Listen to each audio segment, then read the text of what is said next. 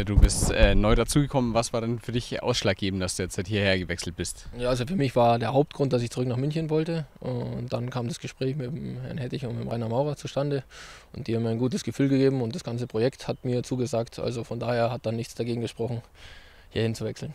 Was für persönliche Ziele hast du dir dann jetzt für die Saison gesteckt? Ja, persönliche Ziele, äh, viele Tore schießen natürlich, äh, aber in erster Linie geht es jetzt nicht um einen eigenen Erfolg, sondern um Mannschaftserfolg und auch den vom äh, Erfolg des Vereins.